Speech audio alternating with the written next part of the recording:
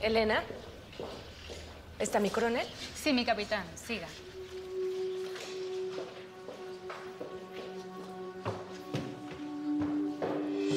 El patrullero de la policía, John Jairo Moncada, fue asesinado la noche de ayer por supuestos miembros de la estructura paramilitar dirigida por los milicias Mi coronel, El asesinato fue perpetrado en la casa del patrullero, quien vivía con su abuela en un barrio popular de la ciudad de Bogotá. Moncada, al parecer, estaba en un balcón de la casa cuando recibió desde la calle una descarga de balas de ametralladora.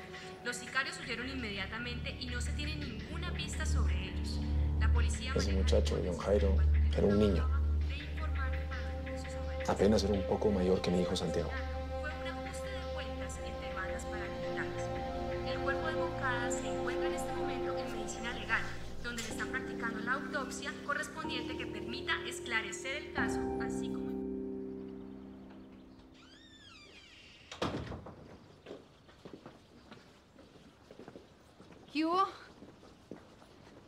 Aquí traje ropa para seguirme quedando en tu casa. Eso. ¿Vamos a dar una vuelta o qué? Ay, ¿será? ¿O prefieres seguirle viendo la cara pervertida a ese profesor de educación física? Vamos. Ah, vamos a dar una vuelta. Qué rayo de darle vueltas a una casa. Esa es la actitud.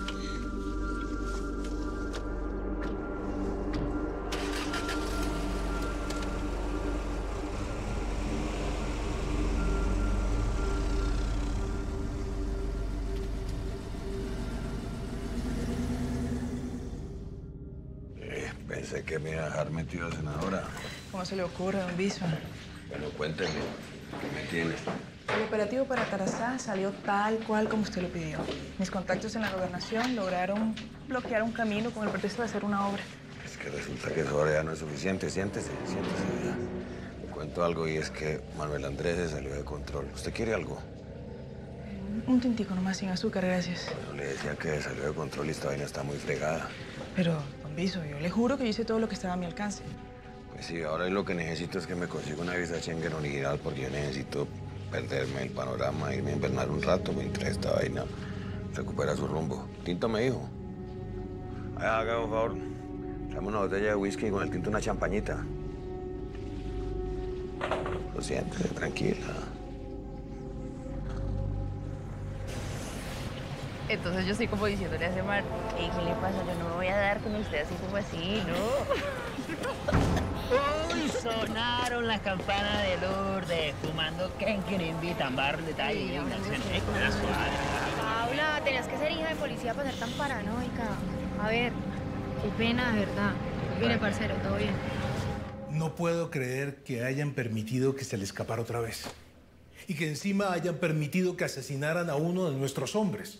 Que encima de todo era el que tenía la información que nos iba a llevar a ese criminal. Nosotros teníamos al patrullero bajo vigilancia. Mi general nos parecía que era lo mejor que podíamos hacer. ¿Y qué me dice del fracaso de la operación en Tarazá? Esa sí fue una increíble coincidencia. Había una obra que impidió el paso de los hombres jungla. Cuando pudieron llegar al escondite del mellizo, minutos antes ya se había ido. Perdón, perdón. ¿Usted me dijo una obra? Sí, pues por lo que le informaron al mayor Fierro, tenían que tirar abajo un puente. No, eso me parece muy raro porque cuando se hacen obras en los campos de operación yo soy el primero de enterarme. Mi general, con su permiso, estoy recibiendo una llamada de mi hija que esta hora es algo muy raro. Gracias. Paula, mi amor, en este momento estoy en una reunión. ¿Tú me puedes llamar después? Coronel Ignacio Sarabia, ¿cómo le va? ¿Con quién hablo? ¿En serio no sabe con quién habla? Papá. Tanto que me ha buscado usted por cielo, mar y tierra y ahora que llegó el momento de que charlemos, usted no sabe con quién habla. Qué tristeza tan berraca. Vea, si usted es un amigo de mi hija tratando de hacer una broma, le voy diciendo que esto a mí no me causa ninguna gracia. ¿En serio usted cree que yo tengo tiempo para ponerme con esas maricadas? Pásame con mi hija. Capitán, ¿Qué ordena, mi general? rastren esta llamada. ¿Mi coronel? Intercepte. Usted a mí no me da órdenes como si yo fuera uno de esos lamebotas. A mí no me da órdenes nadie, mucho menos usted. ¿Entendió? Lo que le estoy diciendo es que necesito hablar con mi hija. Por favor, póngala al teléfono. Me importa un culo lo que usted quiera. Bueno, hagamos entonces lo que usted quiere. ¿De qué quiere hablar? ¿Alcanzaron a arrastrarla? Sí, mi coronel, pero parece que va en movimiento. Tienen a mi hija. Vamos a sala de crisis. General. Ay, Alex, fue mi culpa. Capitán, eso no es cierto. JJ solo quería hacer más plata para ganar puntos conmigo. Y claro, su jueguito se le salió de las manos. Mi capitán JJ sabía lo que estaba haciendo. Fue decisión de él, no suya.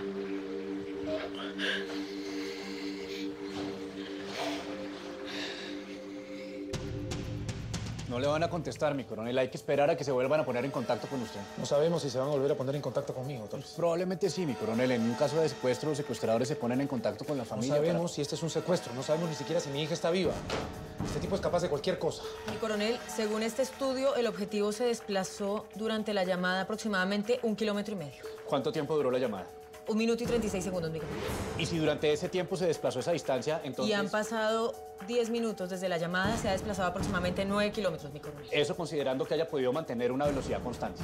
Pues a ver, yo, yo no creo que hayan podido acelerar. Esta es una hora de mucho tráfico y sabemos que en esta zona tenemos tres vías principales. Tenemos la Boyacá, tenemos la 30 y tenemos la 68. Mi coronel, la Boyacá tiene solamente un carril habilitado. No creo que haya escogido la vía donde son más vulnerables. Muy bien, descartemos entonces la Boyacá. Nos quedamos con la 68. Torres, prepara un equipo que vea la 68 y yo me voy con un equipo para la 30. Mi coronel, pero si no recibimos ninguna llamada, no vamos a poder. Pues la única esperanza que tenemos es que me vuelvan a llamar. Estén pendientes por si rastreamos esa llamada. Mi coronel, por favor, reconsidere.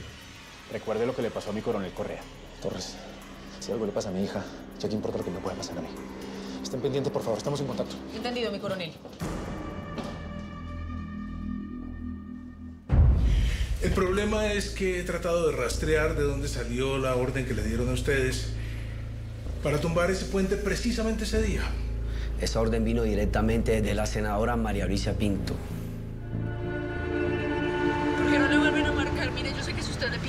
Papá, le va a dar lo que sea por mí. Este niño cara muerto es dentro. ¿Y entonces qué quieren? ¿Qué me van a hacer? Es que su papá como que no ha entendido con qué gente la que se está metiendo. Y nosotros le vamos a ayudar a que entienda. ¿Sí o no, gringo? Aquí Alfa 1, Alfa 3, cambio. Adelante, Alfa 1, lo escucho. Tenemos que restringir el flujo vehicular tanto en esta vía como en la de ustedes para ganar tiempo. Operen como coordinamos ya mismo. Abeja 1, listo en posición. Dale pues, hermano, mueva este tiesto. Patrón, que hay mucho carro, mucha gente. ¡Muévelo, buñuelo! ¡Che! ¡Joda! ¿Cómo así? Pero es que, hermano, entiéndame, es que estoy parado y como más o menos... O sea, yo, yo la otra vez tuve una batería acá, tuve el mismo carro y unos cables para iniciar, hermano. No. No, no, no. Eh. Eh, venga.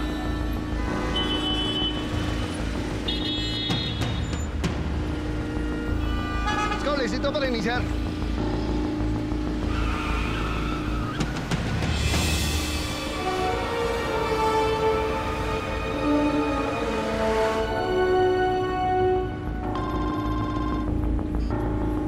Aló, Paula, mi amor, ¿dónde estás? Papá, Hija, escúchame. Por favor, no te preocupes. Mi amor, no te va a pasar nada, no te preocupes. Mariela, ¿alcanza a rastrear la llamada? Estoy en eso, mi capitán, pero necesito más tiempo. Mi coronel, necesitamos más tiempo para saber la ubicación exacta del celular. Cambio.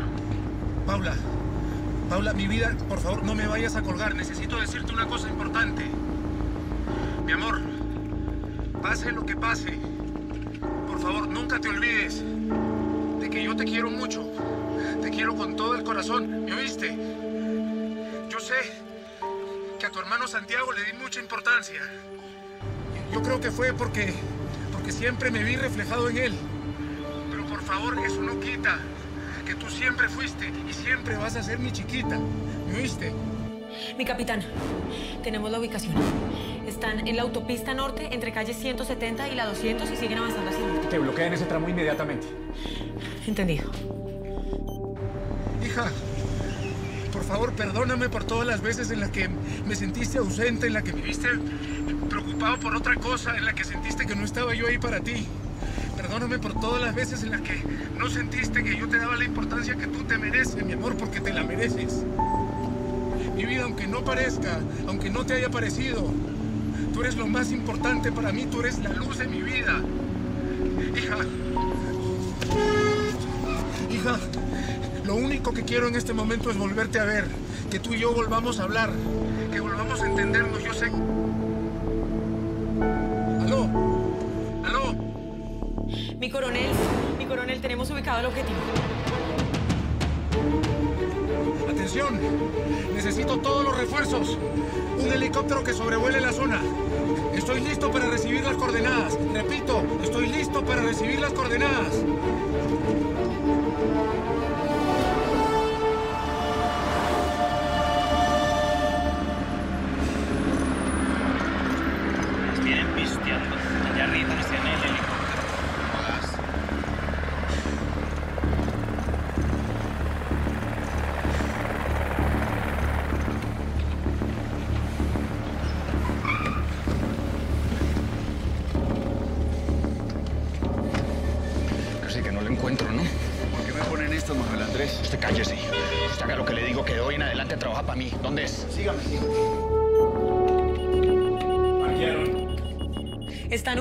San Andresito del Norte.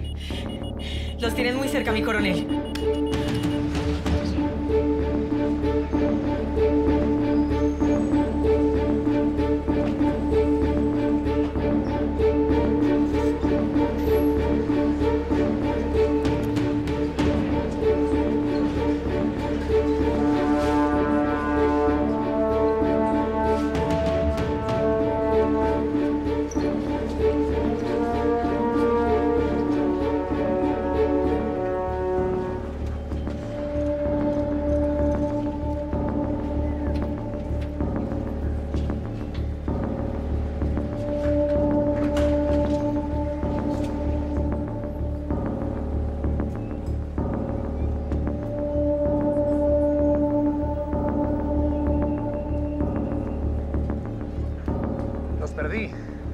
Helicóptero alcanzó a arrastrar algo? Negativo, abeja, negativo. Aló, Tío, tío, con Andrea. sobrina, ¿cómo está? ¿Cómo crees? Mal. Yo no sé si pueda con todo eso. Me siento tan. tan sola. Usted está en su casa. No me preocupe que yo ya salgo para allá. Espéreme. Oríllese, oríllese, que yo me bajo aquí. Espéreme en la bodega. ¿Cómo se le ocurre a Manuel Andrés que se va? Haga lo que le digo, hombre. Yo no me demoro, tranquilos. Yo cuidado, patrón. Mi amor, soy otra vez yo. Por favor, devuélveme la llamada. Solo quiero saber cómo les fue en el viaje. Quisiera saludar a Valentina. Las amo.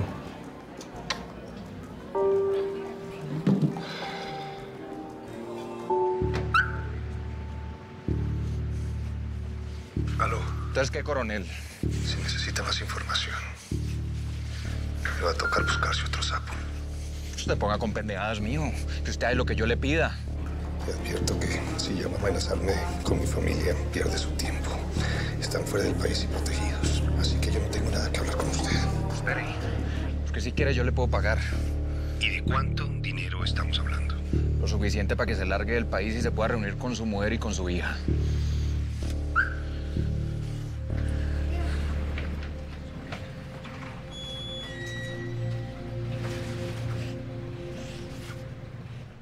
Tampoco. Eh, hospitales. La morgue. Bueno, quedo pendiente. Gracias. Carolina, por favor, dígame que tenemos alguna pista. Ninguna, mi coronel. Había mucho flujo vehicular y Pero, pero en los puestos de control, en lo- en los peajes, nada. se nos volaron. Pero ¿cómo se nos pudo volar si lo teníamos de un pelo?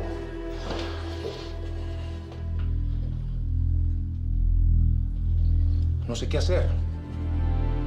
No tengo nada de qué agarrarme. Usted no puede perder la fe. ¿Pero de qué le sirve la fe a un policía? Qué pena, pero dígame, ¿de qué le sirve? Pues, tal vez a un policía no. Pero un padre sí, mi coronel.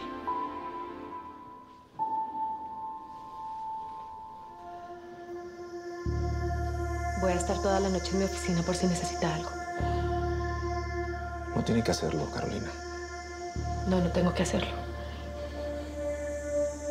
Pero quiero hacerlo. Gracias.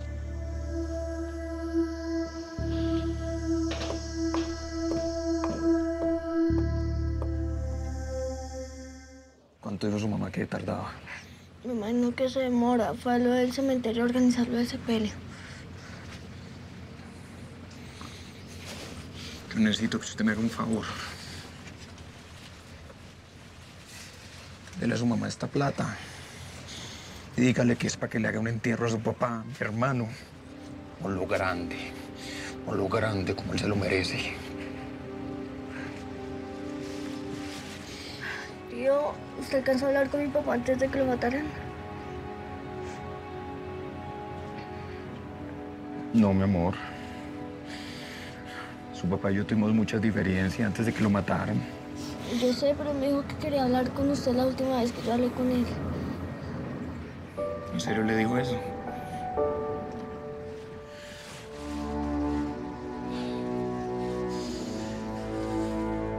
Ya, mi amor. Es que a tu papá lo mataron por tu culpa. No quería que nos voláramos de ralito, mi amor, pero yo le insistí. Porque él presentía que algo nos iba a pasar. Él no quería, pero yo le insistí porque yo le prometí que todo iba a estar bien. Que yo iba a cuidar de él, como siempre lo he hecho, pero le fallé. Él confió en mí, pero yo le fallé. Vea. Yo me tengo ir de acá, mi amor, porque no puedo seguir dando papaya.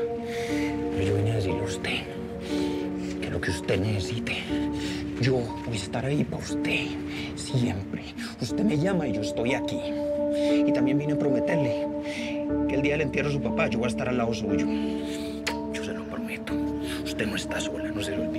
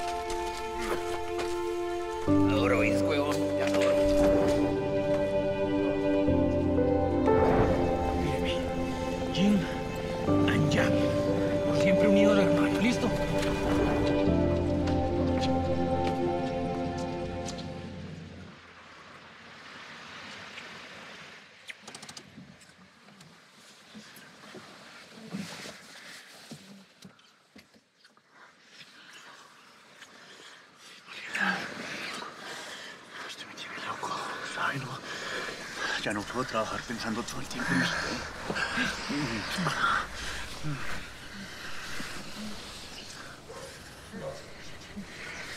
Creo que me estoy enamorado de Muriela. Em, esta tarde, adiós. ¿Qué pasó? Su mujer lo está esperando. Hasta mañana. ¿Dije algo malo? Mariela. Mariela.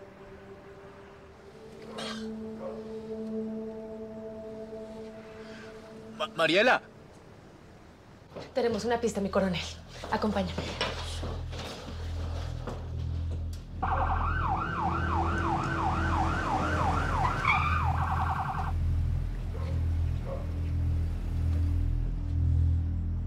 ¿Tenemos la hora exacta de la llamada? 17 horas y 20 minutos, mi coronel. Buenas noches, Policía Nacional. Tenemos que hacerles algunas preguntas.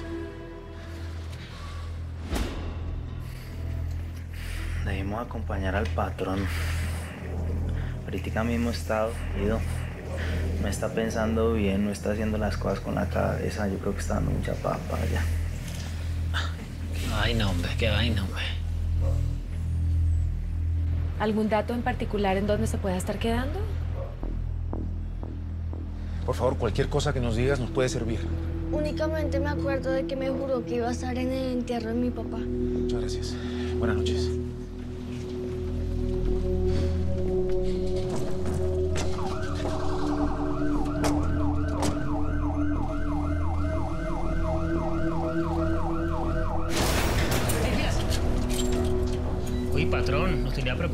Patrón.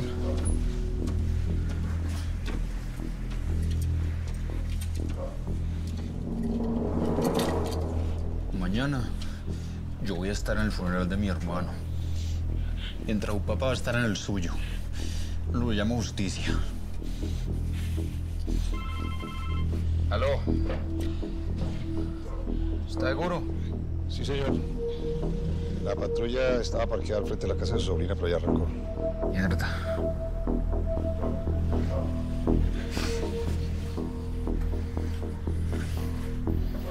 ¿Qué fue, patrón?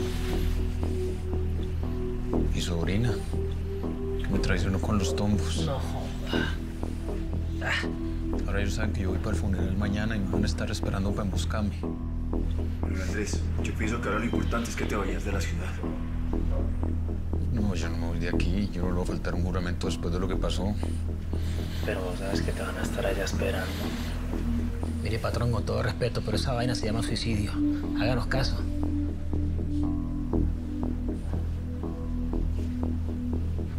Cambio pales. Ya salvó esta veo yo. Usted va conmigo. Y Berrinche y la gringa quedan cuidando a la prisionera. Conseguir un chofer con unas tratomulas. Y usted mañana consígase a primera hora un carro fúnebre. ¿Y tu patrón de una va para esa? Mira, don Manuel, yo vi cómo te estás sintiendo. Y con todo respeto, déjame decirte que eso que vamos a hacer es un cagadón. Haceme caso. Ya, hombre, gringa. Sarabia no es capaz de tocarnos un pelo mientras su hija esté viva. Y nos hablamos pilas ahí, ¿no? No sé. Podría tratarse de una pista falsa. Que esté hecha específicamente para distraernos. O sea, ¿Cómo podemos confiar en el testimonio de la sobrina del objetivo? Yo creo que esta vez lo tenemos cerca, mi coronel. Los gemelos univitalinos no pueden vivir el uno sin el otro. Cuando a uno le pasa una cosa, el otro está sintiendo exactamente lo que está sintiendo el otro. Esta vez tenemos las de ganar. Le tenemos una ventaja.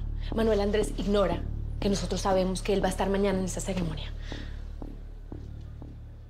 Atención, central, verifique que todos los agentes estén en posición. Entendido. Entendido.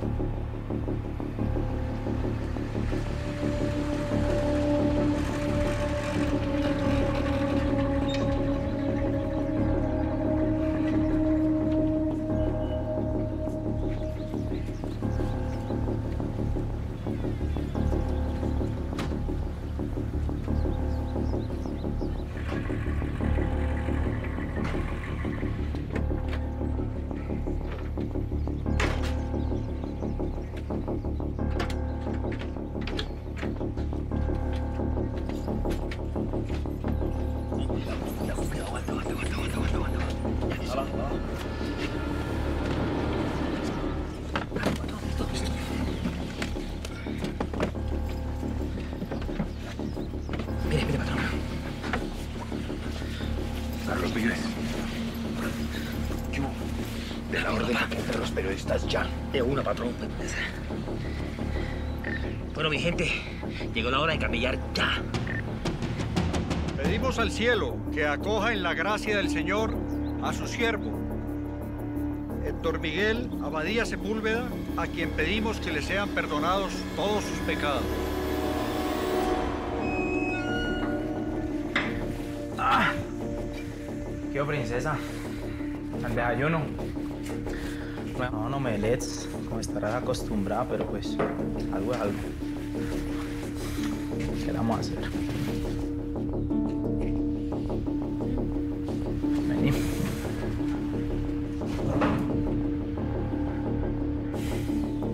Vas a poner de digna. Vas a poner de remilgosa. quieres comer? Pues allá vos.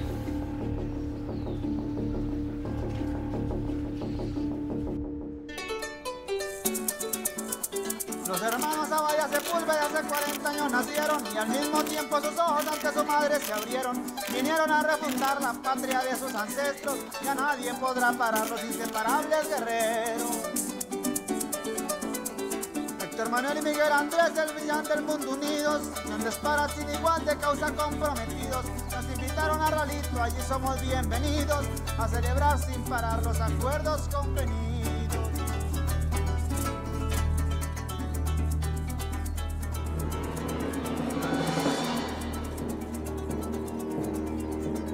Atención central. El objetivo ya estuvo aquí. Pero ¿cómo así, mi coronel? Ustedes estaban en posición. ¿Qué pasó? Cambio. Aprovechó la confusión y se metió entre la gente. Si ya salió del cementerio no puede ir muy lejos. Alerta a todas las unidades.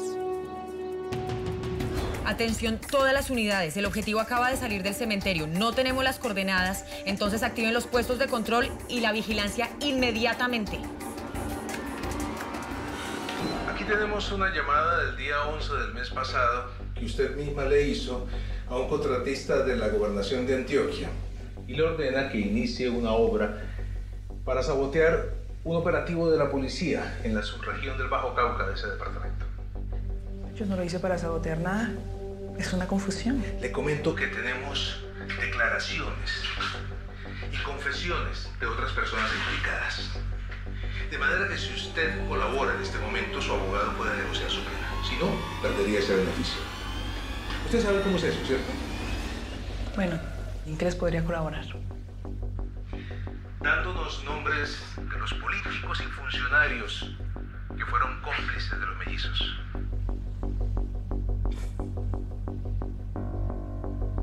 Tendríamos que empezar por el coronel de la policía en el Caribe, Gonzalo Henao, el que fue liberado hace unos días por falta de pruebas.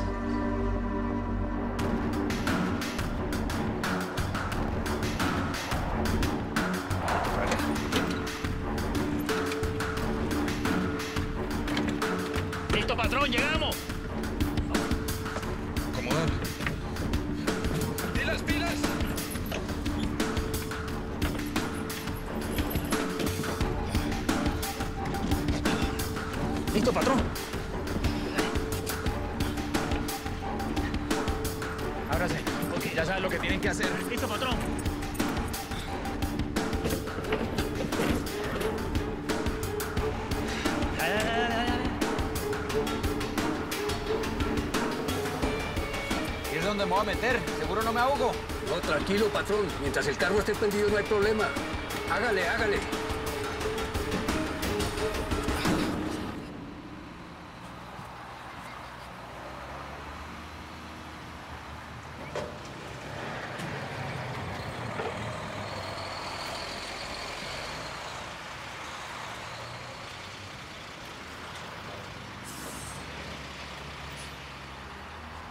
Buenas tardes, caballero.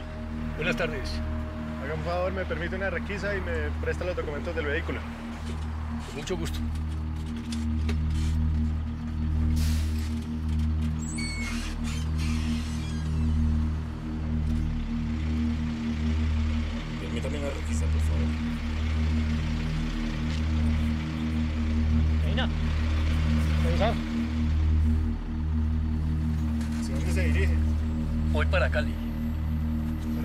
Sí, señor. ¿Qué lleva ahí? Muebles de sala. ¿Rutina?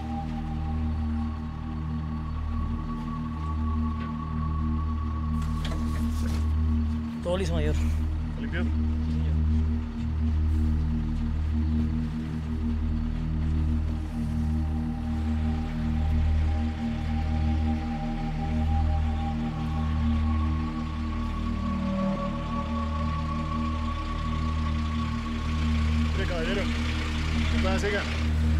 Gracias.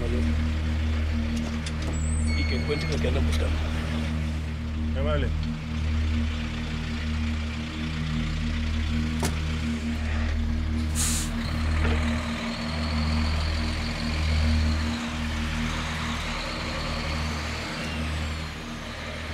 capitán, pare un momento. Pare un momento, ¿Qué mi pasó? capitán, pare un momento. Eso no estaba ahí cuando pasamos de ida. ¿Qué cosa? Esa carroza fúnebre no estaba ahí, estoy seguro.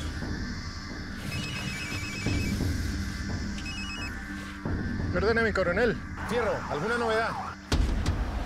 Sin novedad, el MO, todo está limpio. Ya ha pasado mucho tiempo. Ya preguntaron el otro retén, mi coronel. Sí, ya llamé, no pasó por allá. Fierro, este sector tiene solamente dos salidas. No puede haber escapado por otra parte. Vamos, vamos, vamos.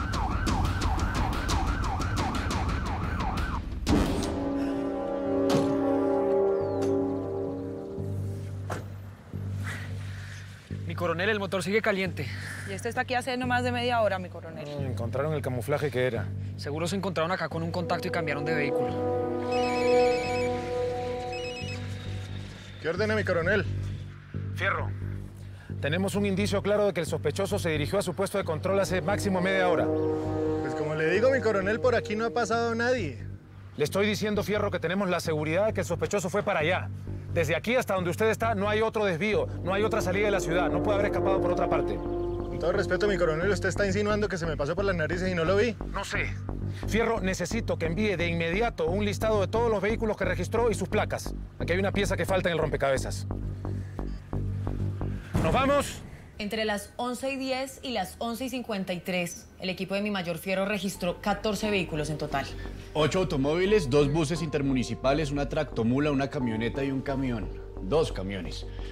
Yo creo que el objetivo pudo haberse camuflado entre los pasajeros del bus intermunicipal. No, no, perdóneme que no esté de acuerdo, mi capitán, pero, pero es que es muy raro porque el bus iba medio vacío. Se le hizo un registro a todos los pasajeros, no tenían antecedentes penales, ninguno coincidía con el registro físico del delincuente. ¿Y entonces cuál es su teoría? Pues, mm, él no usó un disfraz, porque eso es muy arriesgado. Yo lo que creo es que está escondido en uno de los carros. No en uno de los pequeños, pero sí en uno de los grandes, en uno de los de carga. Eso nos deja la tractomula, dos camiones y la camioneta. La camioneta no es tan grande. Yo descartaría la camioneta, Lo más fácil es camuflarse en el cabezote de la tractomula. por ejemplo.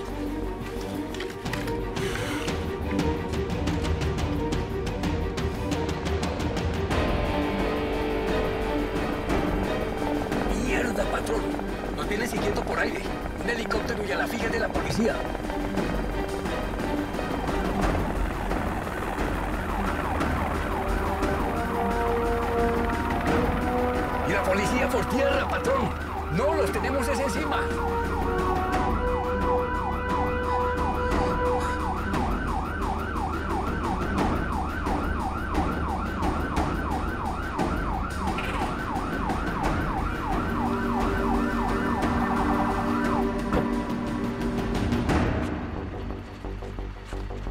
Policía Nacional, bájese.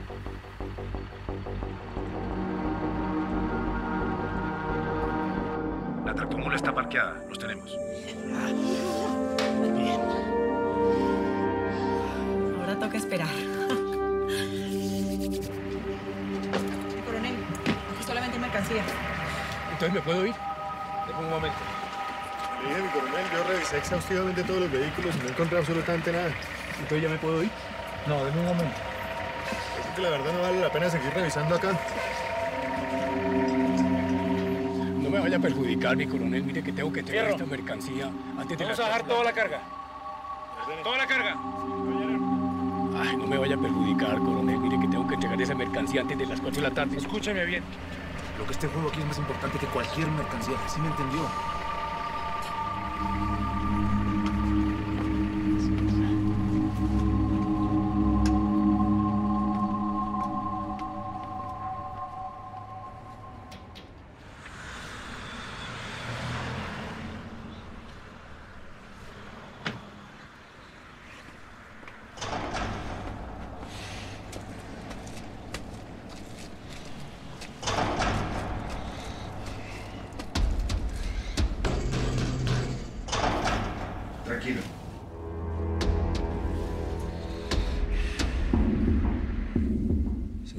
Sapo que viene por la plata.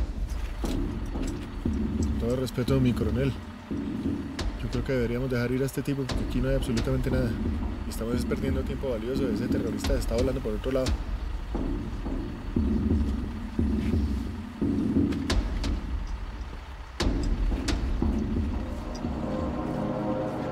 ¿Por qué tiene el motor encendido? El motor. Llevamos más de 30 minutos aquí. ¿Por qué no lo apagó? Mi coronel, lo que pasa es que el motor tiene un daño y para volverlo a iniciar me queda muy difícil. Tiene un daño. Me queda difícil. Apáguelo, apáguelo, que si tiene un daño le traemos un mecánico. Pero... Apáguelo.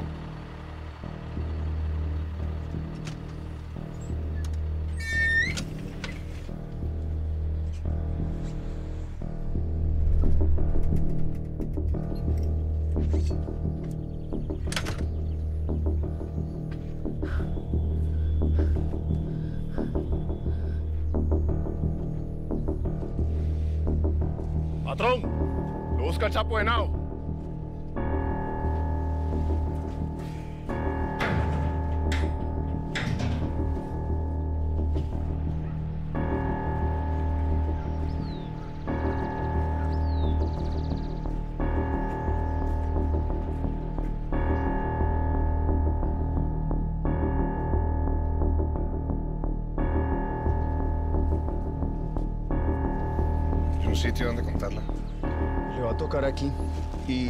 Porque a mí no me gusta que extraños estén merodeando por mis bodegas.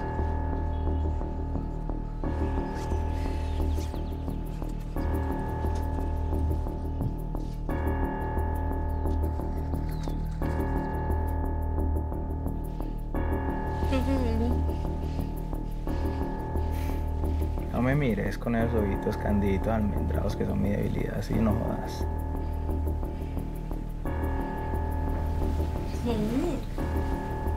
Listo, mi coronel. Ya terminamos de empacar todo.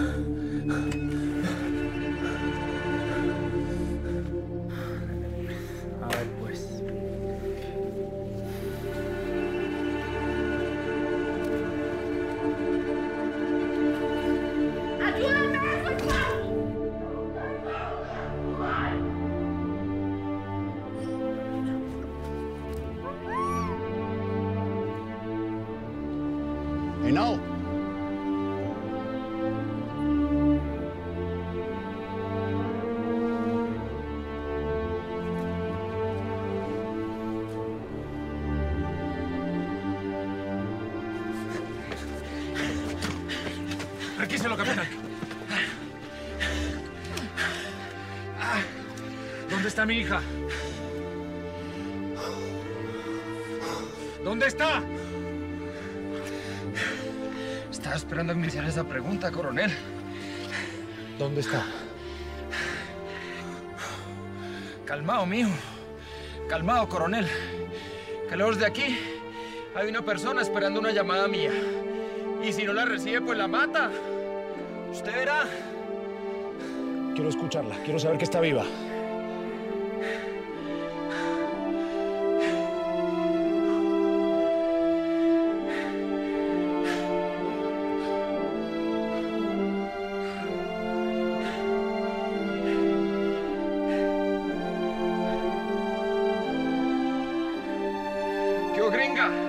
Decime, patrón.